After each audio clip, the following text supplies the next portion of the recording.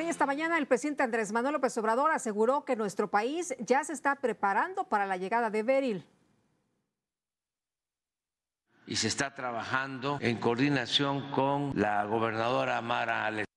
y no solo se está viendo Quintana Roo, también Yucatán, y ya se ha empezado a preparar toda la actividad que se tiene que realizar en Tamaulipas, porque la trayectoria del huracán. Está considerando que pase por